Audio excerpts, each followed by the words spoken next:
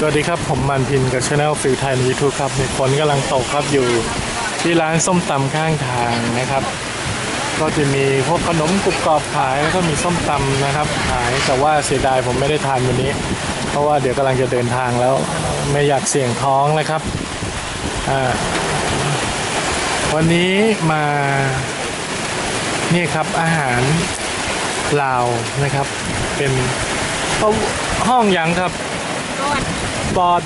รอดแห้งปอดแห้งปอดแห้งนะครับ ก็คือปอดแห้งนะฮะเป็นปอดกล้วยก็คือเป็นปอดควายนะครับ ก็คือเอาปอดมาทำแห้ง เดี๋ยวดูว่ามาซิมเบิงกันดูว่ามัน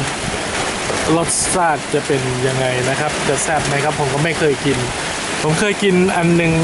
ปอดแห้งทำแต่ตอนนั้นไม่อร่อย กินที่ลี่เจียงนะครับที่ยูนนานนะฮะเดี๋ยวมาชิมดูครับว่าเป็นยังไงปอดแห้งที่เมืองหลวงพระบางนะครับ อยู่หน้าคิวรถสายใต้นะครับ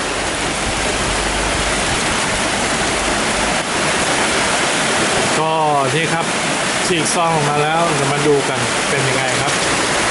กินปอดแห้งแต่รอบข้างนี้เปียกหมดเลยครับฝนตกหนัก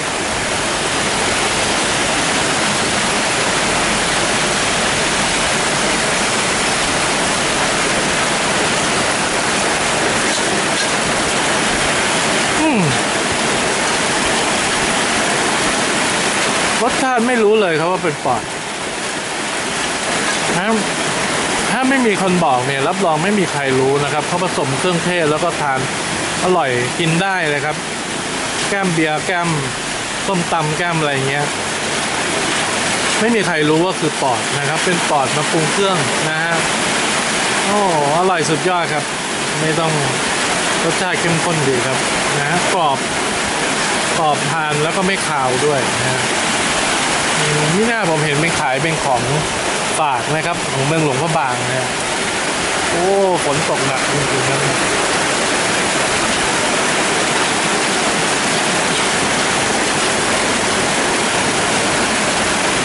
อ๋อแล้วพบกันใหม่กับช anel ฟรีไทยยูทูบครับ